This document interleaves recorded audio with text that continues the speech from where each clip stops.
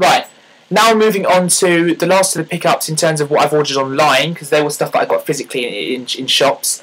Um, basically, um, I got um, some stuff on eBay that um, for the Philips CDI.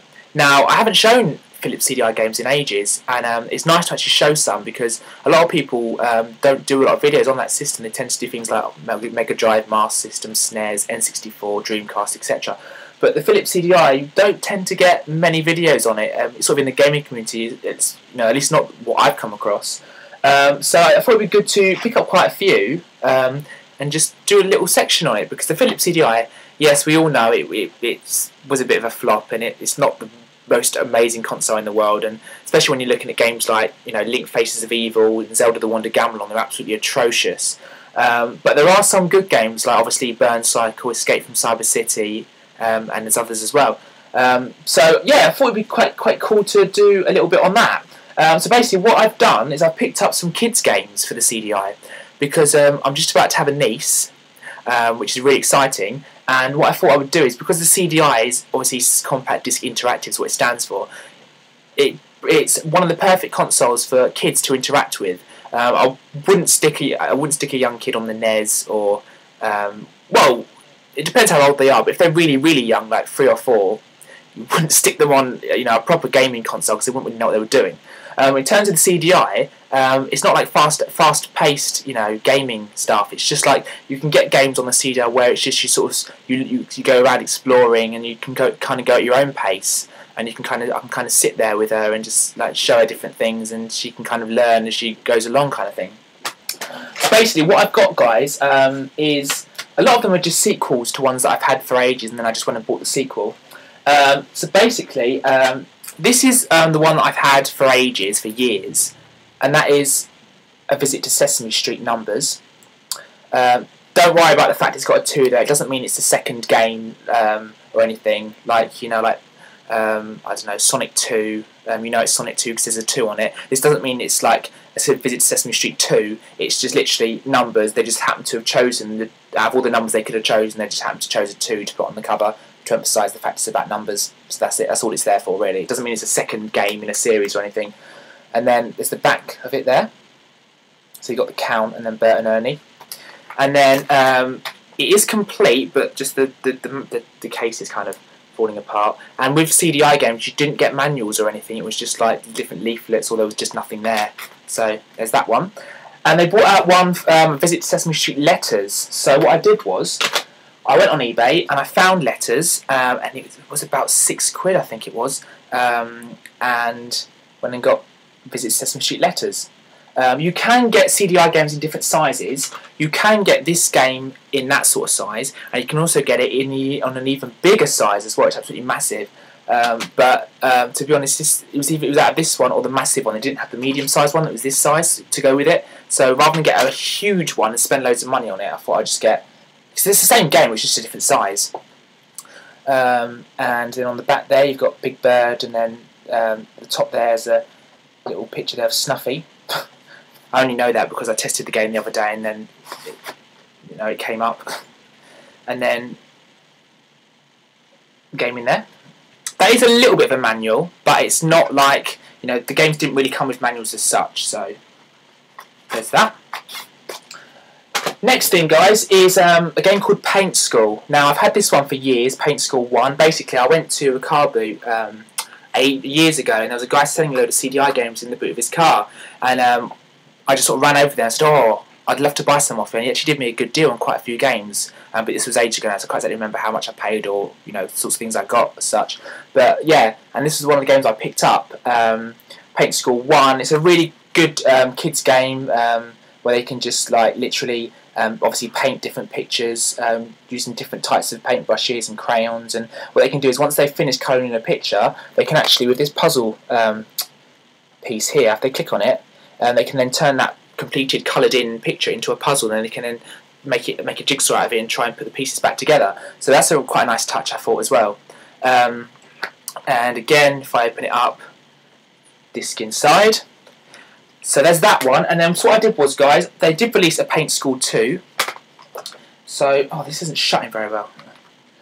Um, so I went on eBay again, picked up Paint School 2. I think this was only about three quid, so that was quite good. Um, and again, it's just more of the same, apart from obviously there's different pictures you can use, there's more variety.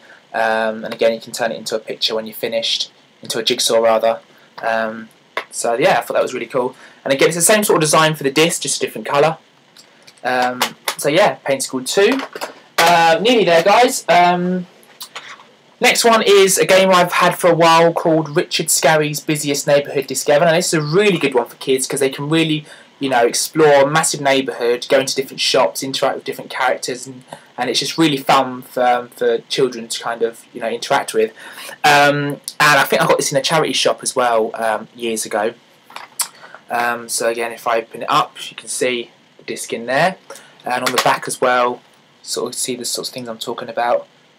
Um, so yeah. So then what they did was they also released one called Richard Scarry's Best Neighbourhood Disc Ever rather than Busiest. So it says Busiest. And then what I did was again, this one I actually got off Amazon rather than eBay. So there you go, Richard Scarry's Best Neighbourhood Disc Ever. Um, oh, and I forgot to say, Paint School 2, I got that off Amazon, not eBay. I got two of them off eBay, two of them off Amazon. And I think this was about three quid again. So, again, not too bad. And it was quite funny because actually on Amazon, that was completely sold out and they didn't reckon they'd ever get it in stock again. Hence, obviously, the CDI is really old now, so they probably wouldn't ever again. That was out of, that was out of stock for good. That one was available, so I was so lucky it wasn't the other way around that I was able to then get the one I needed.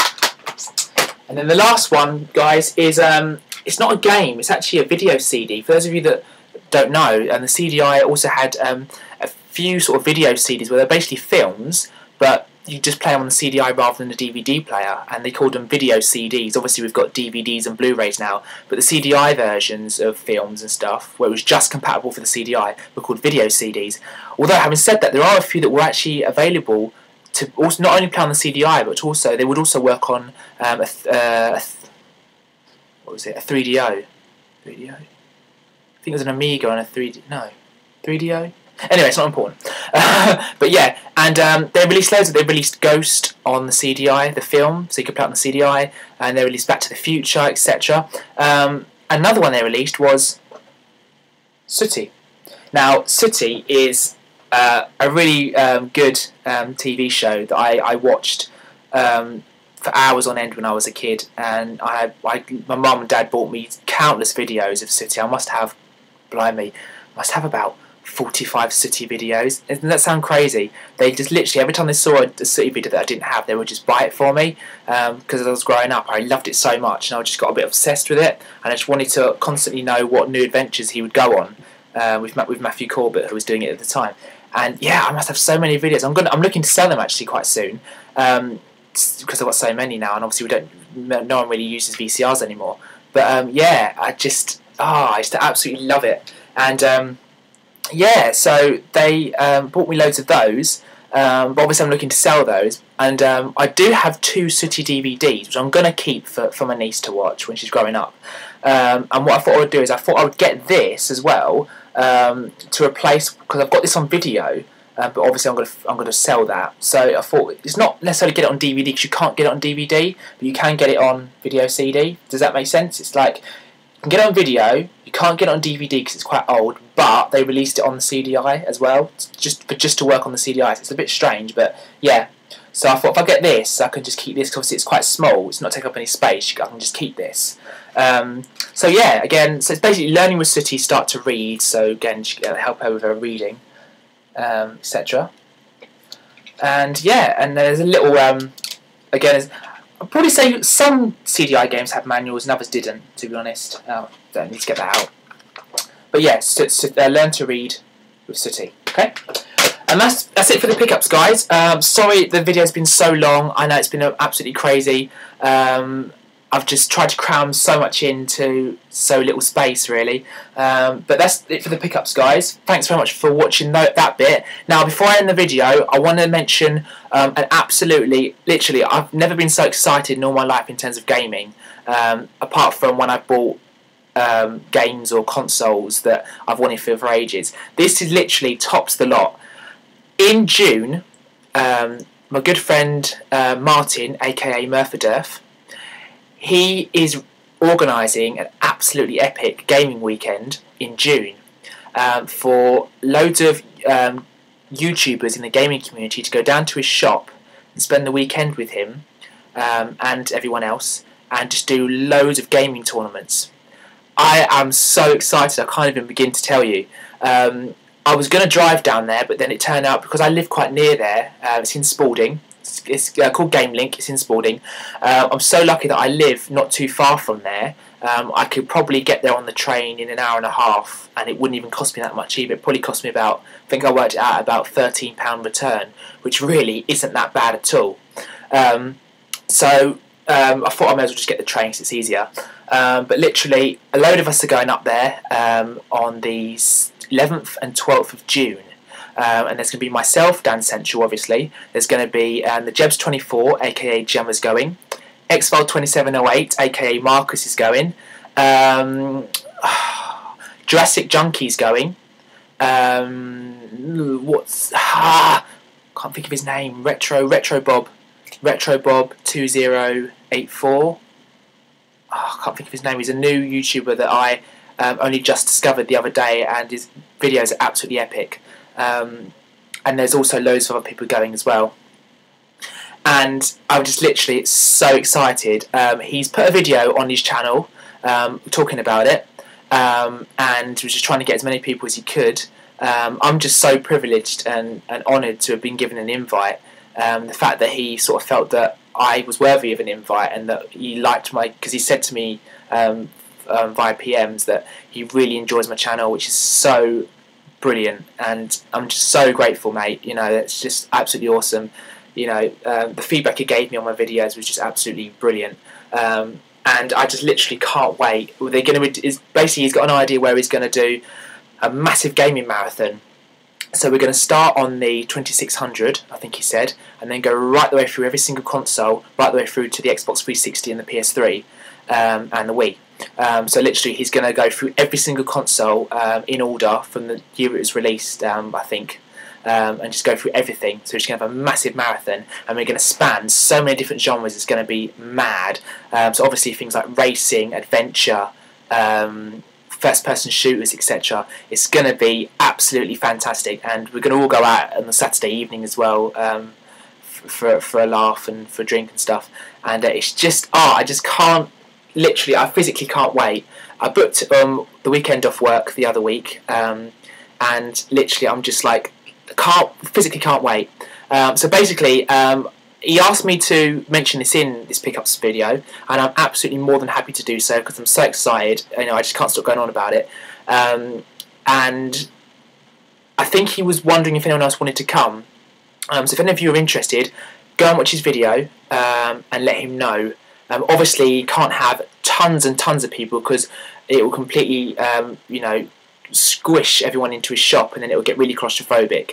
But he's sent some invites out already um, about it, and he's um, just, you know, been organising this for a while, and um, I just love it. I love it that um, so many of us have actually, you know, agreed to go to go because obviously you can organise events sometimes, and people just aren't interested, or it just doesn't kind of you know happen kind of thing but this is actually going to happen and there's loads of us that already said we're, we're interested um, oh and junior d 1975 is going as well which is brilliant because I'm just so looking forward to meeting some of the most amazing gaming legends on YouTube. I've been wanting to meet Marcus, Gemma, Junior D. Um, um, trying to think, who, do, else did I say? Jurassic Junkie for months and months and months, and I just can't believe that I'm actually going to get to meet you guys in person. And it just, I know people have said this before, and I think I've even said this in another video, but it just, it's just like, if I never made my YouTube channel, you know, I would never be doing things like this. I would never have, you know, experienced the immense generosity of people in the community. You know, I never have um, met so many wonderful people. I would never have been, you know, sent this ama- that amazing Sonic plushie from Wendy. I wouldn't be going to GameLink. I probably wouldn't even know about GameLink if it wasn't for YouTube because um, that's how I found out about the shop. And I just all these events that you know have, that spring up because of YouTube is just absolutely fantastic. You know, I wouldn't even go into Game Link if, if it wasn't for my YouTube channel and for all the support that people uh, give give to the channel and everything, and I just wouldn't know about it. So it's just absolutely incredible what the internet and YouTube can can do for you um, in terms of meeting people and just getting your content out there. Oh, excuse me. Um, so yeah, that's I think that's pretty much what I wanted to say. I've shown all my pickups, um, and I've spoken about the absolutely amazing weekend. I literally cannot wait. I'm just like jumping all over the place. I mean, I know it's not for a, a few um, a few months yet, um, but um, you know, I just can't wait. And the most what tops it off even more is that um, we go. The weekend's happening on the same week that I finished college for good and I qualify as a personal trainer. So obviously I'm still at college now, but I finished college on the sixth. Of, hang on, hang on. Yes, that is right. I finished college on the 6th of June for, for good. That's my last exam, and then I'll, I qualify then. And then that's on the Monday, and on the Saturday of the same week is the weekend. So not only will I be celebrating, you know, retro gaming as a whole and, you know, current gen gaming and meeting all these awesome, people, I'll also be celebrating the fact that I would have finished college and, and, you know qualified as a personal trainer. So it will be kind of a mixture of two things. So it's going to be really special for me, um, and I just can't wait to look in his shop and just be completely just like sucked into all the retro goodness and just want to buy so many different things.